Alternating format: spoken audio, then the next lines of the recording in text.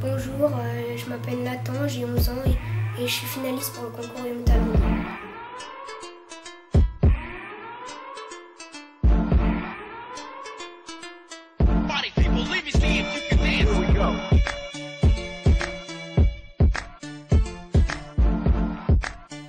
Rendez-vous pour le concours Young Talent 2 le samedi 1er avril 2017.